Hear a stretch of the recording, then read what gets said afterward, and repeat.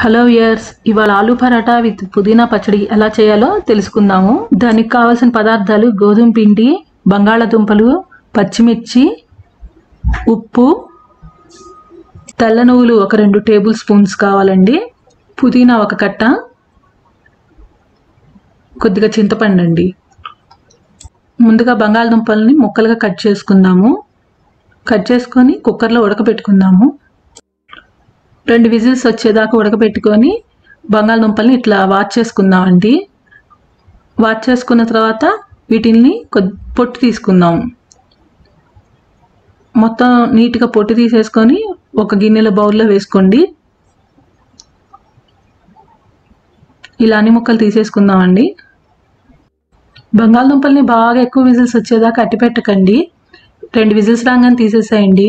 బాగా ఎక్కువ విజిల్స్ వచ్చినాయి అనుకోండి మెత్తగా అయిపోయింది అనుకోండి వాటర్ వాటర్ ఉండి ఆలు పరాటా రాదండి మనకి. ఇలా ఒక బౌల్లో తీసేసుకుందాము. ఇప్పుడు దీన్ని మెత్తగా పేస్ట్ చేసుకుందాము మెత్తగా చిదిమేసుకుందాము. ఇలా బాగా మెత్తగా చిదిమేసుకోవాలండి. ఉండలు లేకుండా దుంపలన్నీ చితిమేసుకోండి ఇప్పుడు దీంట్లో మనం ఇంగ్రీడియంట్స్ కలుపుకుందాము. దీంట్లో ఇప్పుడు ఇంగ్రీడియంట్స్ కలిపేసుకుందామండి. సన్నగా తరిగిన పుదీనా సన్నగా తరిగిన పచ్చిమిర్చి ముక్కలు కొద్దిగా ఉప్పు కొద్దిగా స్పైసీనెస్ కోసం నేను కొద్దిగా కారం కూడా యాడ్ చేసుకుంటున్నానండి. ఇప్పుడు దీన్ని అంతా బాగా కలిపేసుకుందాం. ఇప్పుడు దీంట్లో కొద్దిగా తెల్ల నువ్వులు కూడా కలుపుకుందామండి. టేస్ట్ చాలా బాగుంటుంది తెల్ల నువ్వులు కలుపుకుంటే. దీంట్లో ఇప్పుడు గోధుమ పిండి కూడా కలిపేసుకుందామండి. కొద్దిగా చేతికి ఆయిల్ వేసుకుందాము. ఆయిల్ వేసుకోకుంటే అంటుకోకుండా ఉంటుందండి. ఇప్పుడు బాగా కలిపేసుకుందాము. డవ్ ప్రిపేర్ చేసుకుందామండి ఎప్పట్లాగానే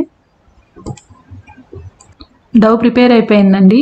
ఇప్పుడు దీంట్లోకి మనం పుదీనా పచ్చడి రెడీ చేసుకుందాము. పుదీనాని ఇలా వలిచేసుకొని ఒక బౌల్లో తీసుకుందామండి. దీన్ని ఇప్పుడు వాటర్లో బాగా కడిగేసుకొని ఒక రెండు నిమిషాలు వాటర్ పోయేదాకా పక్కన పెడతాం ఇప్పుడు ఒక ప్యాన్ తీసుకొని దాంట్లో కొద్దిగా నూనె వేసుకోండి. నూనె కాగిన తర్వాత కొద్దిగా పుదీనా వేసేసుకుందాము.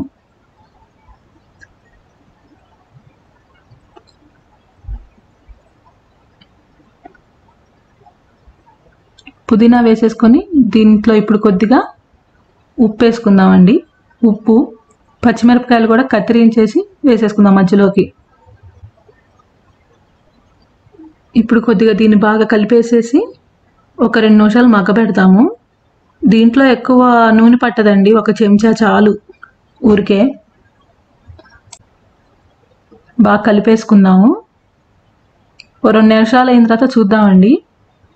అయిపోవచ్చిందండి. ఈ వాటర్ అంతా ఎనిగిపోతే పుదీనా పచ్చడి అయిపోయినట్టేనండి. యాక్చువల్గా ఇది వేయించుకోకుండా కూడా వేసుకోవచ్చు. కానీ వేయించుకుంటే ఏంటంటే వాటర్ అనేవి ఉండవు. కాస్త రెండు రోజులు ఉంటుంది పచ్చడి మనకి. అయిపోయిందండి.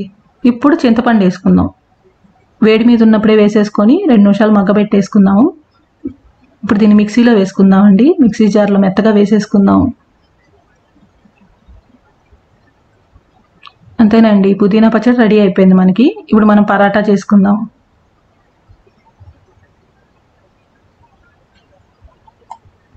ఇప్పుడు కొద్దిగా పిండి చల్లుకొని మెత్తగా ఒత్తేసుకుందాం ఇది ఈజీగా వచ్చేస్తుందండి. పెద్ద పిండి అంతా ఆలు ఉంటుంది కాబట్టి మనకి మెత్తగా వస్తుంది. ఇప్పుడు పెన్న మీద కాల్చుకొని కొద్దిగా బటర్ వేసుకొని కాల్చుకుంటే చాలా బాగుంటుంది. బటర్ కానీ గీ కానీ వేసుకొని కాల్చుకోండి బాగా.